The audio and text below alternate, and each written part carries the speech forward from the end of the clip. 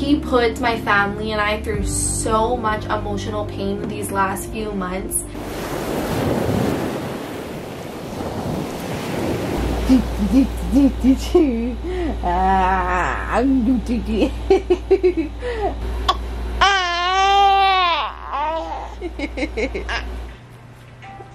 Mesa's sitting in his little bumbo. We're having a little playtime. We're gonna play Sorry.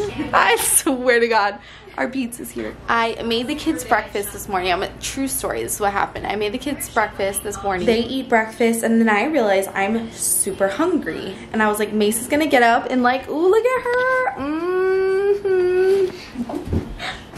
I don't even like Papa John's. the kids eat their whole breakfast and then I decide I'm hungry. Like I'm like, my stomach is growling. I go and make breakfast.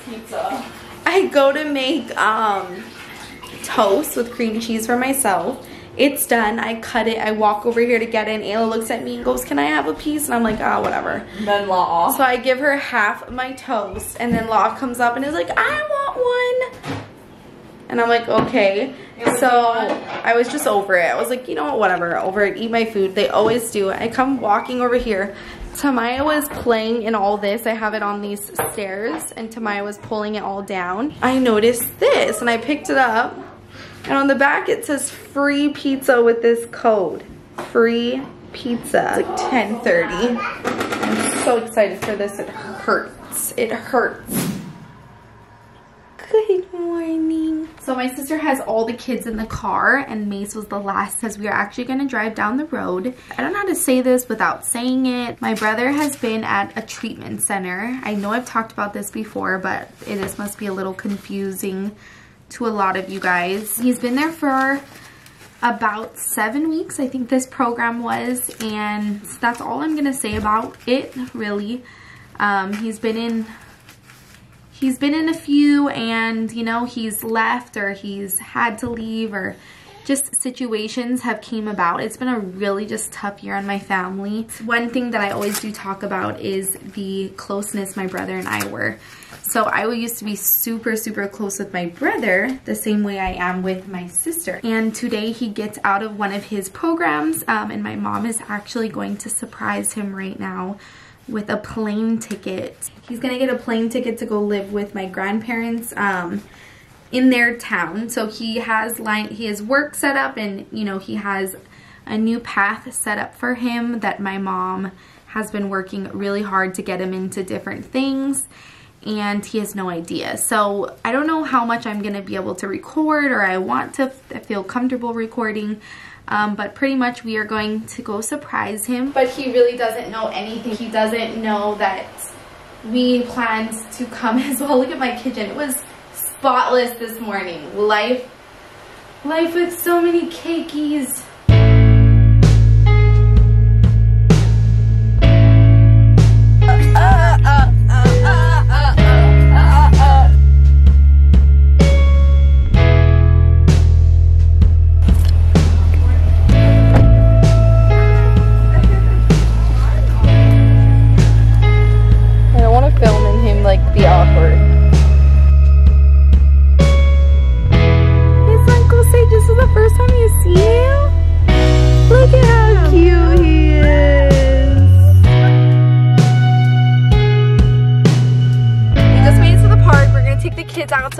A little. That was kind of a lot A lot of, talking, a lot. Of, a lot. We're gonna play. Put your shoes on. You got your shoes? Let me see you. Got your mask and your shoes.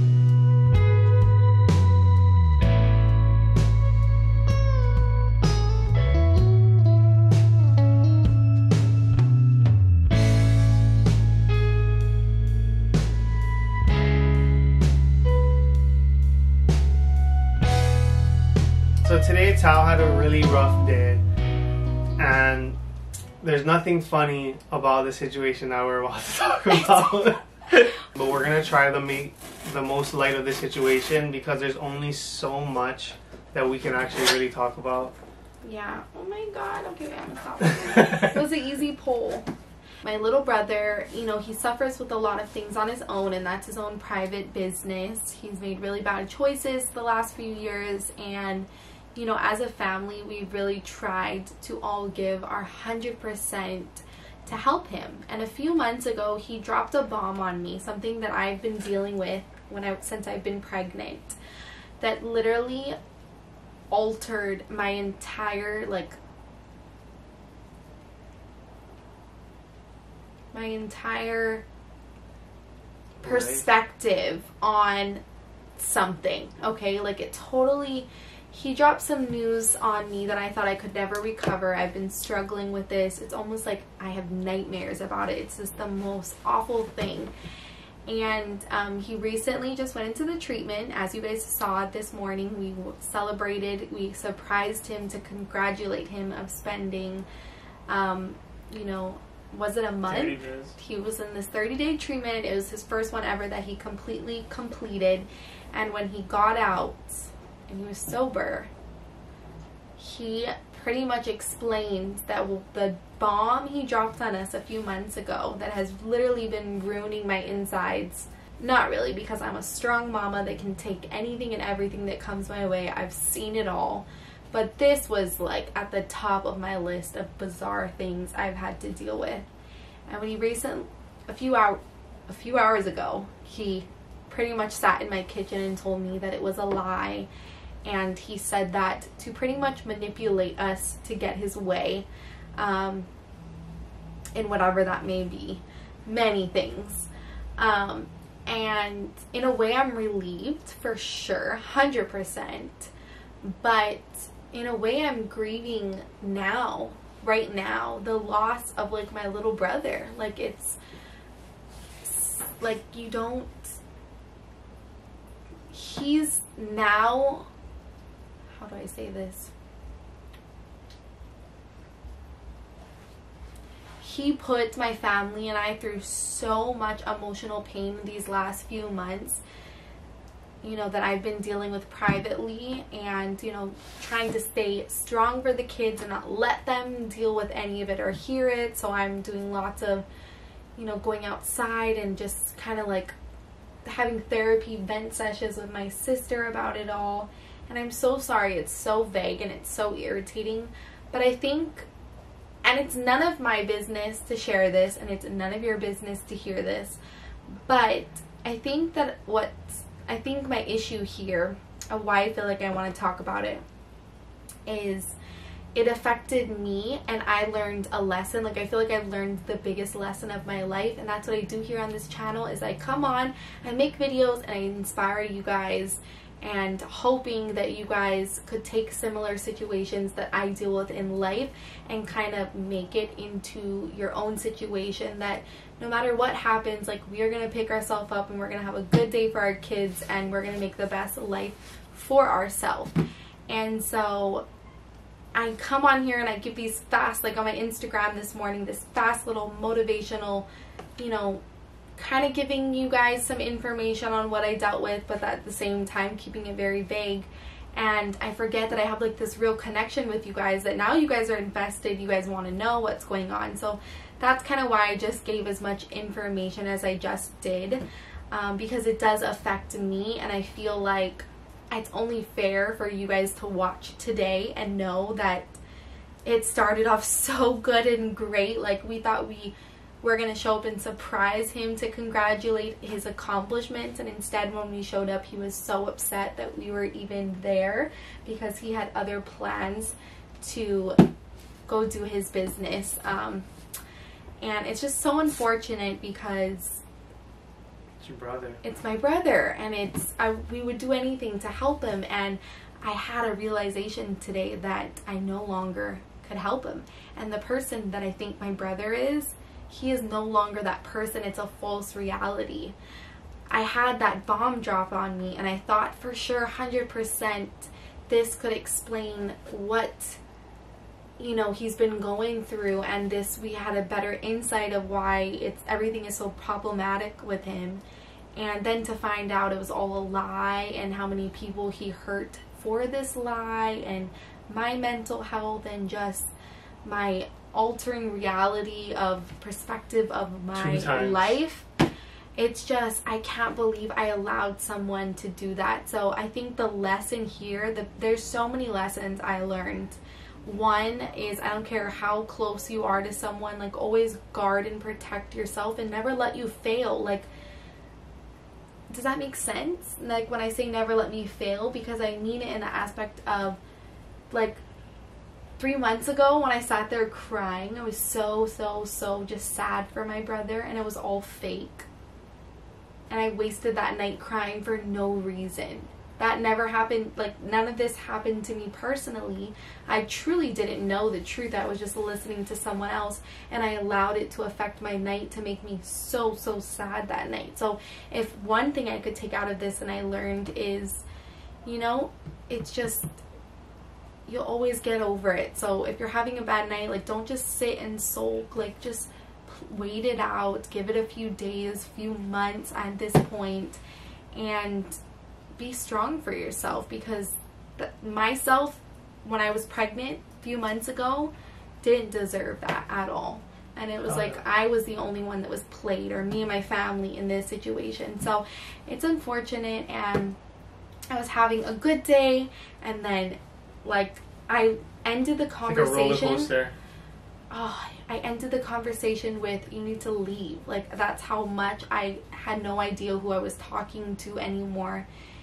And him completing this program and being good, good, that makes sense if you can catch my drift. And him still being the same old person, it's just I'm the only one living in a fantasy of who he was. And so it just, he's always my brother and I'm always to love him. But for now, I need to be a mom of a newborn and a toddler and a three year old and a five year old and worry about my own things. And I was dealing this. I was dealing with this pregnant and it was just, it, that makes me the, the worst inside is knowing I was putting Mace through this stress of me feeling just so sad for him. And it was all just pretend. It's just so crazy. I, I can't get over it. So it is. as I'm putting the kids to bed and we're about to put the older ones I hear a knock at the door and I go get it. And something you guys I've never there's so many things. Like you guys think you know my life. And there's so many things that go on that you just have no idea. Yeah, Lily, she's been struggling with her computer. If you don't already know or you haven't noticed, sometimes it takes her days. Days. And it's hours just to upload a video. Can you check? I think the baby monitor just went off. It just alerted you. Every single video that has been going up these last few weeks has taken my computer over 10 hours to upload it. And sometimes it would take like 10 hours and something interrupted it and it would be stuck for a few hours until I had to restart it and then redo the whole 10 hours. So we ordered a computer like the second day that I dealt with it. I was just like, my computer I have, I take really, really, really, really, really, really, really, really, really, really, really, really, really, really good care of it. But five years. It is old, and Mac seems to screw you over when your computer is outdated and just decides, you know what, we're not to work for you anymore. We're to cut your internet off, and that's literally what they did because I have a perfectly working computer. It just doesn't connect to the internet speed fast, and we have good internet speed. So it's just a lame. So anyways, I'm putting the babies to bed. Oh we hear a knock at the door and after a month of waiting, it's my here. beautiful new computer is here. And I really don't like nice things like this. Like this kind of bums me out that I had to buy it. But I've been struggling with my computer for years, almost since I got it, because of the oh. memory. If you edit vlogs, you have about two hours of footage a day. And Kiko bought me my this computer for my 21st birthday. That other, my old one. Yeah, it was your 21st birthday, yeah. He bought me my laptop. I think you turned 21 when you lose. And it had like 150 gigabytes of memory and then like the actual system used like 70 of those. Oh, so we is got this the same color? one terabyte. No, it's a little darker. It just couldn't have come at better time. the main language. Oh, it sounds so clear. My speaker is a little blown to my other one, but I added with headphones anyway, so it's really not that big of a deal. Alright guys, that's officially it. Thank you guys for sticking around through this roller coaster of a day.